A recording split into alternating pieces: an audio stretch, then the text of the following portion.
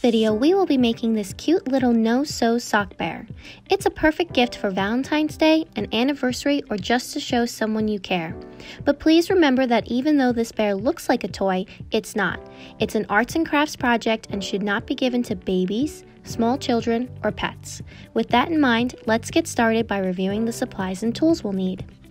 A pair of socks, cotton balls, mini elastic bands, scissors, cotton thread, ribbon, and fabric markers. Step 1. Tie off the ears.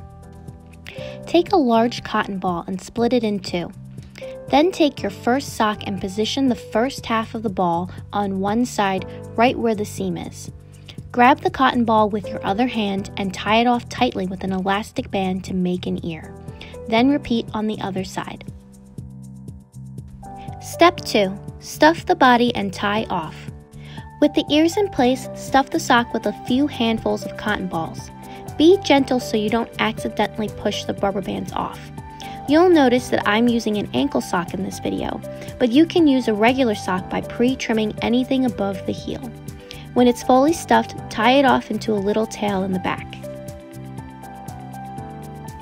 Step 3. Tie off the head and trim.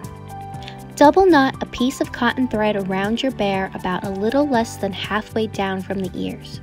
Tie it tight enough to give the head shape, but don't make it too tight. You'll see why later. Then trim the thread and the excess tail with a pair of heavy duty scissors. Step 4. Tie off the legs and tail. Take your second sock and repeat the same steps for the ears, except this time use a full cotton ball to make the legs.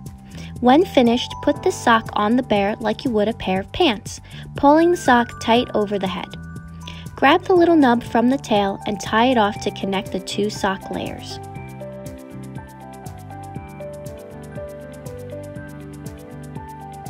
Step 5. Trim, tuck, and tie off the arms. Roll the top of the sock back down to the middle of the bear's head and trim with a pair of scissors. At this point, take two cotton balls and place them where the arms would go, before tucking all the excess fabric over the thread. This is why we didn't tie it too tight before.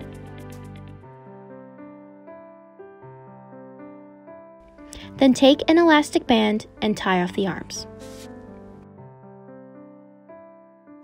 Step 6. Add ribbon. To hide the seam, cut off a piece of thin ribbon that's approximately 18 inches long. Center the ribbon on the front of the bear and wrap it around so that the ends come back to the front. Then double knot the ribbon off to the side to make a little scarf and trim. Step 7. Draw face. Using a fabric marker, draw your bear a pair of eyes, a nose, and a mouth.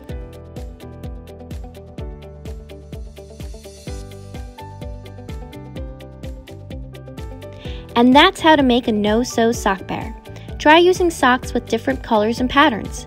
If you have an Instagram or Twitter, please send me pics of your creations. I'd love to see your work.